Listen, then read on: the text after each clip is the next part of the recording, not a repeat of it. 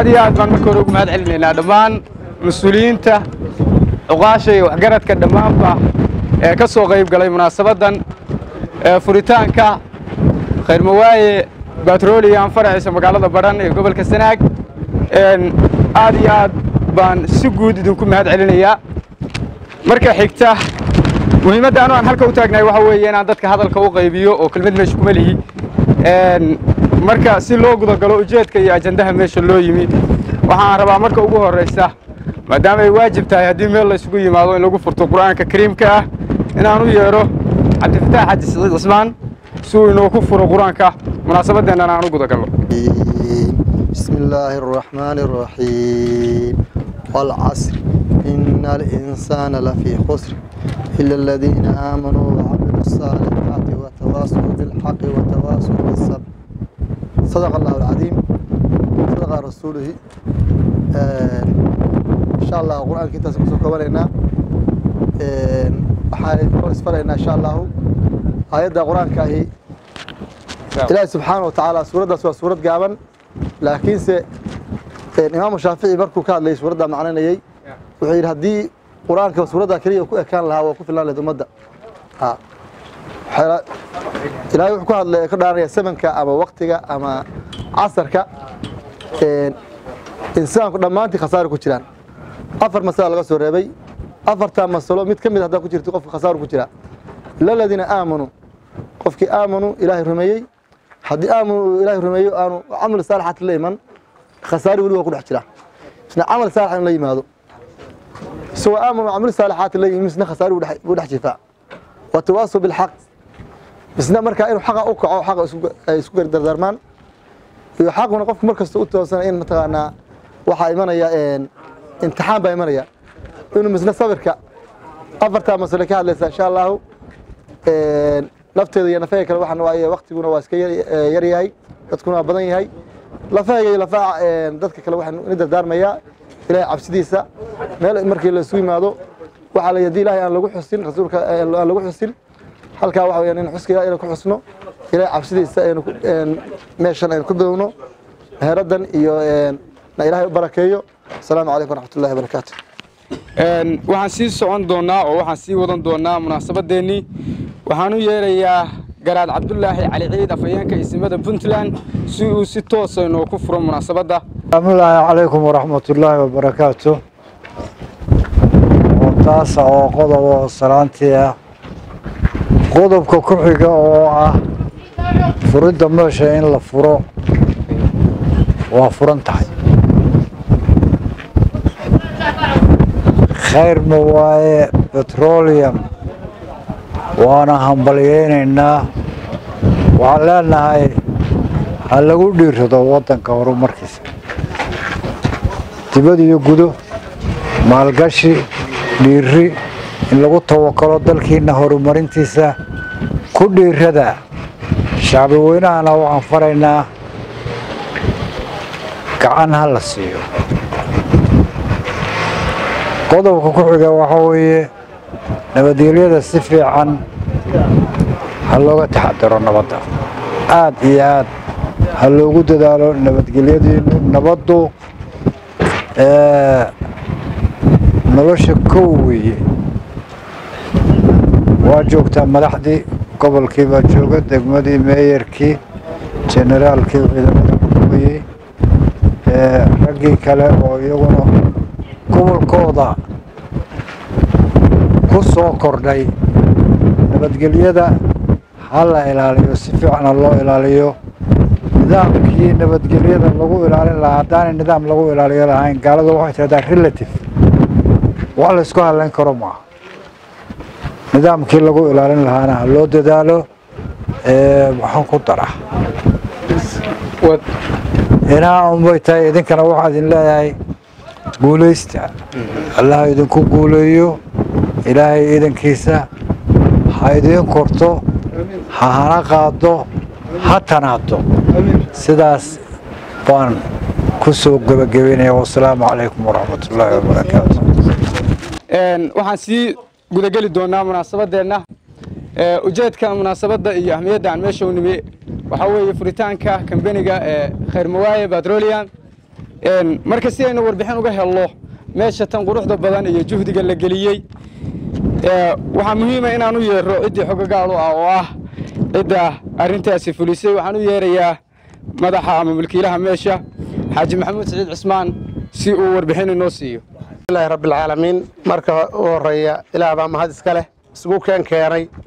Goob goobihiisa ka mida aad iyo aad baan marka hore uga mahad celinayaa madaxda dowladda guddoomiyaha gobolka duqa degmada taliyayaasha ciidanka oo tiro badan oo kala duwan aan magacooda haddeer meesha ku wada xusi karin.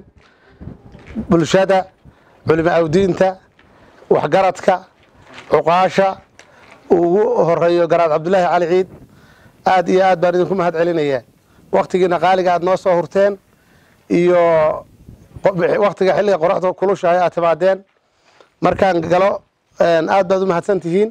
Markaan u laabto ujeedka meesha iyo waxa aan ka rabno waa meesha aragtaan oo kambeniga khayrmawaaye petroleum waana kambeni soo shaqayn jiray ilaa laba kun iyo labadii kun hadda labaan labaatan jirsanaya ama sagaal iyo toban jirsanaya gobollo tiro badan oo soomaaliya ilaa heer puntlandana ka hirgalay.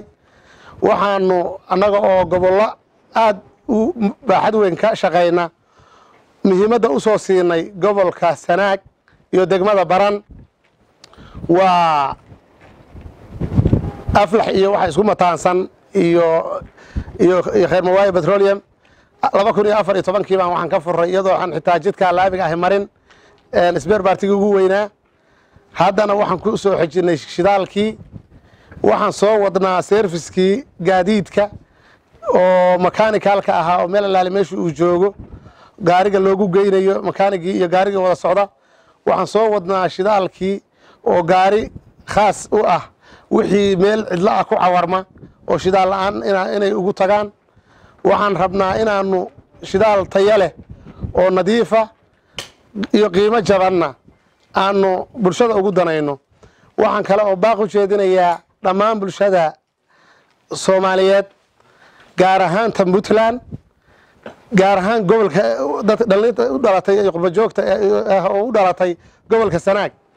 Inay ku soo dhiiradaan ciiddooda oo maal gashadaan waxaa nooga baxay lacag maanta boqolaal ka badan.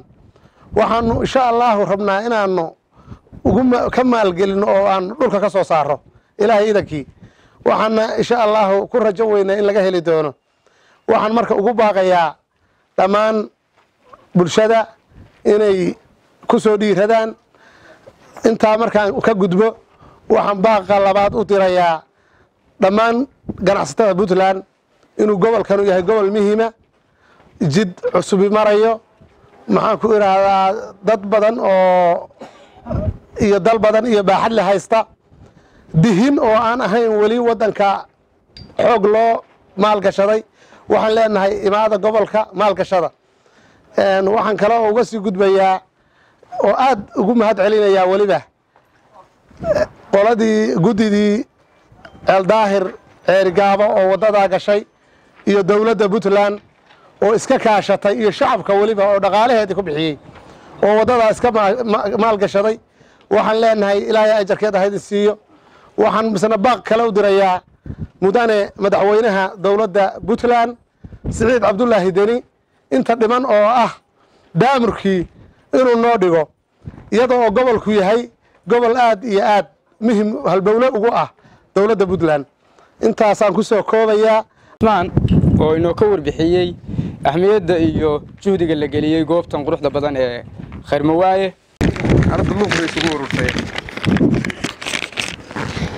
aad iyo aad buu mahadsan yahay. Afhayeenka isimada puntland garaad cabdulaahi cali ciid. Ducadii uu inoo ducayey garaadkuna allah inoo aqbalo.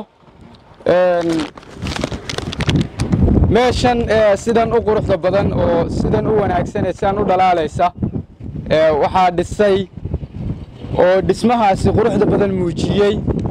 Kambeni waddani ah oo la yidhaahdo tusmo construction company oo bilicda iyo dad ajnebiya iyo kiyaati iyo meelo kaleeto kambeniyo kale ma ay dhisin iyaguna aad iyo aad ayay u mahadsan yihiin oo bilicdaasi iyaguna ay ka qayb qaateen ama ay mafuliyeen soo saaristeeda. Waxaan sii socon doonaa waxaan u yeeri doonaa nabadoon cabdiqani maxamuud faarax cid kasta meeqaam ku leeyahay baan ku salaamaynaa. Salaanka bacdi si gaara waxaan u salaamaynaa. Ganacsadaha maalgeliyey ama furay maanta halka xarigga laga jarayo kaalinta khayrmawaaye runtii arrin muhiima oo baryaha kanba gobolka horumaro balballaaran baa ka socday. Laakiin ganacsadaha kan wuxuu ku dhiiraday arrin muhiima oo gobolka iyo dhammaan deegaanada kale oo gawaarida iyo gaadiidka u kala gooshaanba muhiim u ah. Wuu hambalyeynaynaa waana soo dhoweynaynaa arrintaasna waxaa fududeeyey waddada jidka cad halkaas laga hirgeliyey baan is leenahay. Waxaan rajaynaynaa in ganacsatada kalena waxaan ugu baaqaynaa inay saasoo kale ugu daydaan oo ay furaan ganacsi ballaaran oo dadka iyo deegaankaba ka qayb qaata. Dowladda puntlandna waxaan leenahay in waddadii halkii laga sii wado iyo shacabka reer sanaagba dhammaan waxaan ugu baaqaynaa in waddadii halkii contributionkeeda barteeda laga sii wado oo laga qayb qaato si ganacsatada ugu soo dhiirato deegaanka oo ay ugu abuuraan shaqo abuur. Marka waa soo dhoweynaynaa kaalinta khayrmawaaye batrolium waxaana leenahay ilaahay kuu barakeeyo.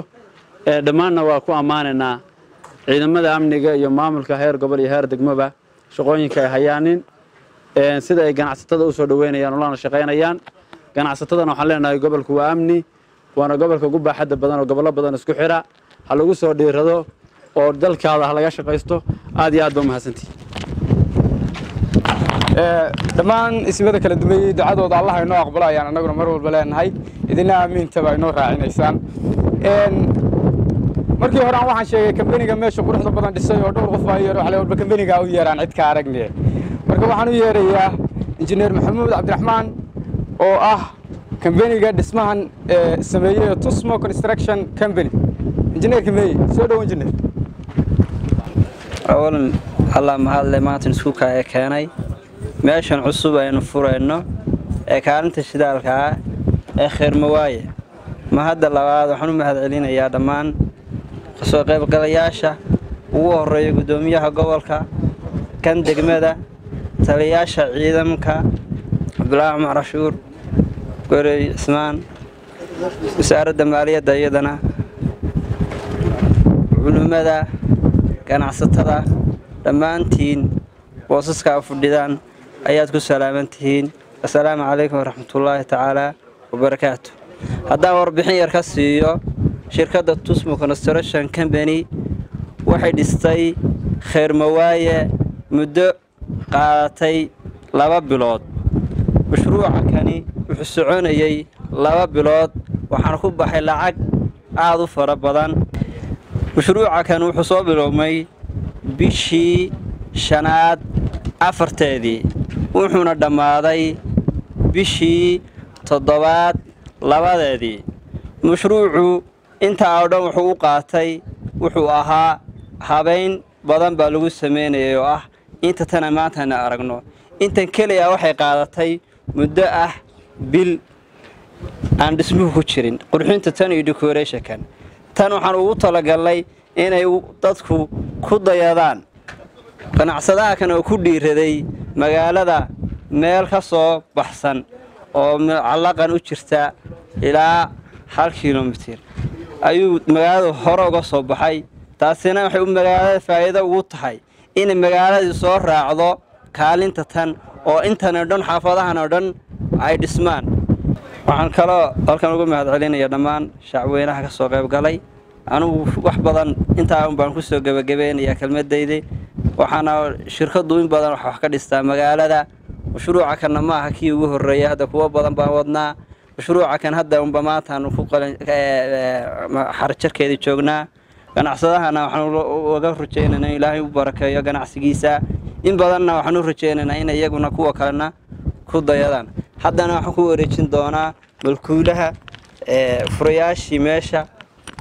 Maxamuud siciid waa shirkadda mulkiilaha shirkadda khayrmawaaye ee baran ee kaalinta shidaalka ah. Maanta waxaanu dhammaystirnay mashruuca qaatay saddexda bilood.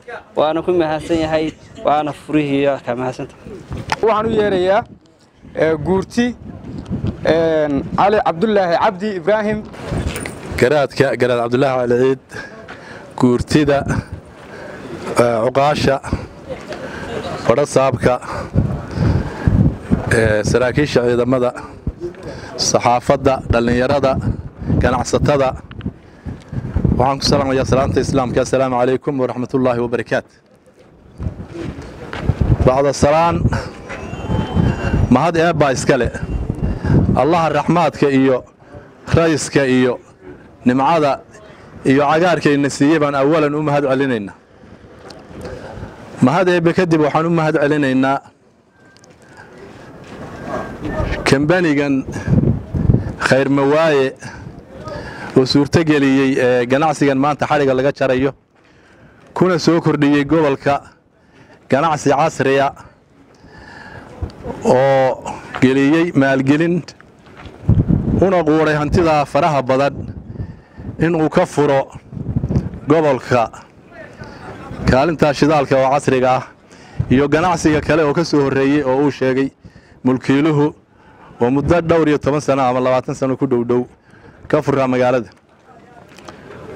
Waxaan ugu baaqaynaa ganacsatada kale ee soomaaliya ama puntland inay sidaa ay qoladan ugu soo dhiiratay ee ay u timaaddo oo ugu soo dhiiradaan ganacsigaa iyo ganacsiyo la midabana ay ka furan tahay mandaqadan waa ku dhiiri gelinaynaa waana ugu baaqaynaa. Horumarkaas dabajoogga ah waxa fududeeyey oo keenay waa dadka oo soo dhiiraday iyo waddadaa soo fududaysay jidcaddaha ah. Waxaan ugu baaqaynaa dowladda puntland oo ugu horreeyo madaxweyne siciid cabdulaahi deni in jidku dee waa cad yahay caddaankiisibaa barwaaqay badan keenay mandaqadda. Waxaan leenahay ha la madoobeeyo oo ha lagu dadaalo. Waan codsanaynaa waan ugu baaqaynaa. Ganacsatada dal iyo dibad iyo xukuumadda puntlandba in waddada horumarkeeda aad iyo aad loo tixgeliyo loogana shaqeeyo. Ugu dambayn shirkaddan waan u ducaynaynaa in ilaahay u geliyo anfac iyo horumar. Ayaan ugu ducaynaynaa kuwii ku badhaadho faa'iido ka helana ilaahay ka yeelo. Cid kasta oo ganacsigaas oo kale rabtana cidday doontaba ha noqotee waa ku soo dhowaynaynaa gobolladan.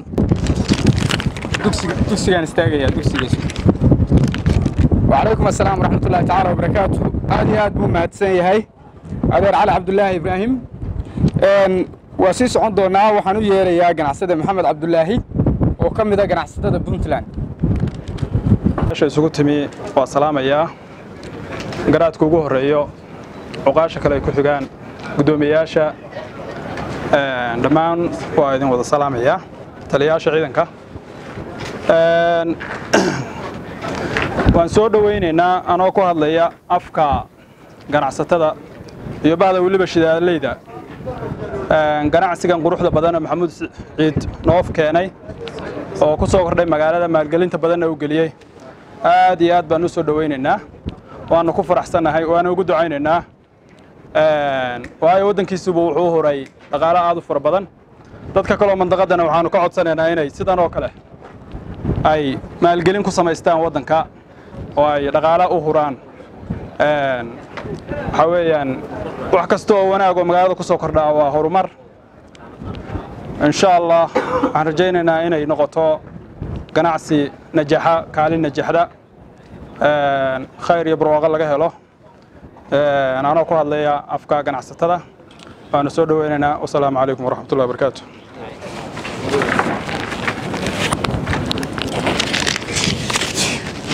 xasante waxana waa kala baxayaan wuu mahadsan yahay ganacsada maxamed cabdulaahi. Waxaan ku sii siqaynaa gebagabada munaasabadeenna waxaan u yeerayaa taliyaha ciidanka daraawiishta gobolka sanaag jenaraal cabdulaahi cumar cashuur. Maanta waynu isu nimi munaasabadda kaalinta la furay iyo dukaamadeedii iyo howlaheedii oo dhan. Khayr mawaaye dadka dhammaan mas'uuliyiinta iyo dadweynaha isugu yimi halkan waa salaamaya assalaamu calaykum waraxmatullaahi wabarakaatu marka hore waa ugu hambalyeynayaa nimankii sameeyey kaalinta shidaalka iyo dukaankan iyo dhismahan iyo eryadan quruxda badan aynu maanta isugu nimi. Waa ugu hambalyeynayaa waxaan leeyahay guuriyo ilaahay khayr ha idinka siiyo. Tan kale waxaa weeyaan lacagta tan halkan dhulka lagu hagaajiyey oo caynkaasa maraykan iyo carab midna lagama soo shaqaysane maxamuud saciid dalka habeenkama tegin. Waxaan u sheegayaa dadka dibadaha jirow lacagtu dalkay taallaa dalkay taallaa lacagtu waa ogahay kuwo badanoo guntigaa wax iskaga hayo yurub iyo maraykan la fadhiya. War cidreedi ka qaadi mayso baan leeyahay dalka kaale oo maalgashada. Waxaad aragtaan dalku maalgeshi buu u baahan yahay. Waa idinku soo dhoweynaynaa dhul iyo wax walba waa idiin haynaa kaalaya tan kale waxaa weeyaan jidkani wax badan buu faa'iideeyey. Madaxweynaha dowladda puntland waxaan leeyahay waxaa la leeyahay waddadii waa istaagtay madaxweyne. Waa fariin waxaa la leeyahay waddadii waa istaagtay. Madaxweyne yaa la isu kindirin adiyo sanaag. Waddada iska hagaajinta hadhay iyadana intaasaan leeyahay dhammaan mar labaad iyo mar saddexaad ba dadweynaha meesha isugu yimi dhammaan waa salaamayaa assalaamu calaykum waraxmatullahi wabarakaatu maamulka gobolka iyo degmada taliyayaasha ciidamada kala gedisan ganacsatada mulkiilaha iyo mas'uulka shirkadda khayrmawaaye batrolium iyo shirkadaha kale bahwadaagta ay yihiin sida aflixoo kale. Iyo dhammaan bulshada ka soo qayb gashay waxaan ku salaamayaa salaanta islaamka. Assalaamu calaykum waraxmatullahi wabarakaatu salaanka bacdi alxamdulilahi rabbilcaalamiin maanta oo ay tahay maalin aad u qurux badan dhulkuna uu aad u cagaaran yahay. Rays iyo udgoon iyo naxariis iyo nimcona ay ka soo baxayso. Waa waxa weeye waa waa furitaan aad u qurux badan runtii oo ka turjumaya mustaqbalka meesha tan ay yeelan doonto. Waxaan aad iyo aad ugu mahad celinaynaa shirkaddan maalgelinta ballaadhan ku samaysay maxaan ku meeshan quruxda badan iyo decorationkan quruxda badan runtii hore magaaladu aanu lahaan jirin. Bilicda magaalada iyo quruxdeedan wax badan ka soo kordhinaysa halka inooga dhistay. Runtii waxaan umaleeyaa injineerkii dhisay materialkii iyo dhismihii unbuu ka sheekeynayey sida uu uga warramay shaqadii ay qabteen runtii shaqooyin badanna way qabteen oo magaalada ka qabteen kambanigaas tusmo construction company. Aad baan uga mahad celinaa niman dhallinyaro ah oo aqoon-yahana oo intay hay'ado u shaqayn lahaayeen iska diiday oo yidhi dalkaanu ka shaqaynaynaa waxna waxaanu baranay dalkan ku soo kordhinaa uga mahad celinaynaa waxaan leenahay maalkan iyo mulkiyaddan la geliyey runtii aad iyo aad baa ugu mahadsan tihiin. Waxay aad uga qayb qaadanaysaa bilicda waxay ka qayb qaadanaysaa horumarka waxay ka qayb dhiirigelinaysaa ganacsatada kale ee dalka degan iyo kuwa kale oo dibadda jira. Runtii halkan baaqyada kala gedisan looga jeedinayey. Waxay ka qayb qaadanaysaa koritaanka magaalada runtii oo laga yaabo dadku inay aad isugu dhodhowaanayeen waxaan u malaynayaa inay heli lahaayeen firsad inay magaalada ka sameeyaan. Laakiin inay masaafada intaa leego halka kilomitir ku dhow ka soo durkaan waxay ka qayb qaadanaysaa dhiirashada in magaalada meelo intaa ka durugsan laga samayn karo. Sida magaalooyinka waaweyn runtii aynu aragnay sidoo kale waxaad mooddaa inay u diyaarsan tahay meelihii kafeteriyada oo dhammaan dadku ay wakhtiyada ay firaaqada leeyihiin ay u soo nasasho doonan lahaayeen oo buuqa iyo buuminka magaalada iyo saxmadda ay ka soo bixi lahaayeen. Marka runtii shaqo runtii aad u qurux badan weeye. Sideedabana qofka bini aadanka ahi isagoo ribix helaya oo faa'iido samaynaya buu ajarna helaa. Waxaan u malaynayaa sbeer baartiga halkaa laga furay aflax. Inta lagu adingaabsaday iyo inta faa'iido laga helay iyo inta maxaanku idhaahdayey laga adeegtay. Iyadoo ribix la helayo oo qofku faa'iido helayo bisna ajar buu helayaa oo diinta islaamka ay noo sheegtay qofku hadduu wax macduuma oo aan markaa la helayn inuu keeno ummadda u keeno inuu ajar ka helayo. Dhammaan ganacsigoo dhan baa noocaasa waxay u baahan qofku inuu tadxiyoodo waxyaalaha awaamirta shareecada diinta islaamku ay amartayna uu dhaabe ka dhigto sakooyinka uu iska bixiyo sadaqooyinka kale bixiyo. Maxaanku idhaahdaa waxyaalaha ribada keenayo oo xoolihiisa ka xirmaaninaya ama xaaraanta uga samaynayo o dhan inuu iska ilaaliyo. Waxyaalahaasoo dhan runtii hadduu sameeyo waa laabuddan inuu ajarkiina uu helayo isagoo ujuuro qaadanayo oo wax iibsanayo ganacsanaya. Aad iyo aad baan ugu mahad kambeniga. Sidoo kalena waxaan leenahay maalgashiyo qurux badan oo bilicda iyo magaalada muuqaalkeeda soo jiidan kara magaaladii waa weynaatay in la sameeyo. Cid kastoo waxaysataa inay ka fekerto inay samayso maxaanku idhaahdaye mashruuc. In laysku daydo runtii aad baan aan dadka ugu tirtirsayayaan aan laysku dayan laakiin qofku inuu maskaxda tuujiyo yidhahdo maxaa magaalada u baahan tahay? Hadda beri dhowta niman dhallinyaraha waxay sameeyeen. Meel carruurta ku ciyaarto. Runtii magaaladu ma lahaan jirin. Waa u fekereen maskaxday tuujiyeen. Maxaanku idhahdaaye kabacdina way sameen marka waxaan leenahay ganacsatada kale wax samaynayana firsado badan oo maalgashi baa bannaan in firsadaha badan laga faa'iidaysto oo wixii dadka ka maqan lagu soo kordhiyo. Wixii tayadooda hooseysana tayadeeda kor loo qaado. Aad iyo aad baad mahadsantihiin. Waxaan ku soo dhaweynaya guddoomiyaha gobolka. Insha allah suisna kelmadiisa halka uga idhahdo billahi tawfiiq garaad cabdilaahi cali ciid maayarka degmada baran taliyaha aagga taliya cashuur taliyayaasha kale xisaabiyaha ganacsatada cuqaasha waa salaamaya asalaamu calaykum waraxmatullaahi wabarakaatu iyo weliba saxaafaddaba aad iyo aad baan ugu hambalyaynayaa uguna ducaynayaa ganacsade maxamuud iyo shirkadda cusub ee khayr mawaaya petroleum. Waxaan leeyahay allaha barakayo. Shirkadda dhistay ee tusmana wax badan oo waa ku shaqeeyaan waa u mahad weliba aniga mid kalaa ii dheeroo dhammaan injineerada shirkadda tusmo. Macallin baan u wadaa. Mid aanan macallin u ahayn kuma jiro. Marka aad iyo aad baan ugu faraxsanahay inay midhahaygii yihiin. Waxaan filayaa sidii uu injineerkii sheegay in halkan laga dhisaa magaaladay soo jiidaysaa waana fursadaha laamigu keenay maalin dhaweyd aanu maayarka sheekaysanaynay telefoon.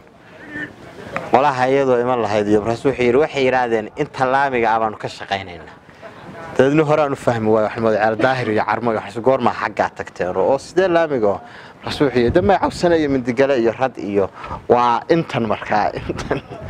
Marka waxaa moodaa in gobolka laftigiisa hadda uu noqday qayb laamile iyo qayb aan laami lahayn oo waxa weeye intani ay yeelatay laamiga oo aynu dee la qabsannay laamigii.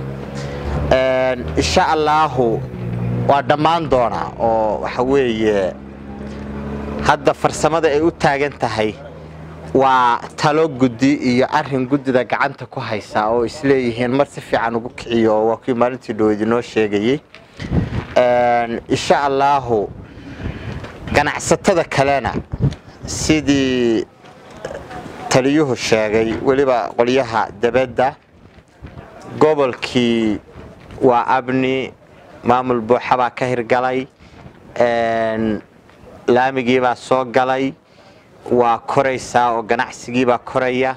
Sidaa darteed inaanay fadhiyiina ay u yimaadaan sidii ay dhulka u maalgashan lahaayeen. Intaasaan insha allaahu kaga baxayaa shirkadda iyo ganacsatadana insha allahu waa u ducaynayaa in ilaahay baarigo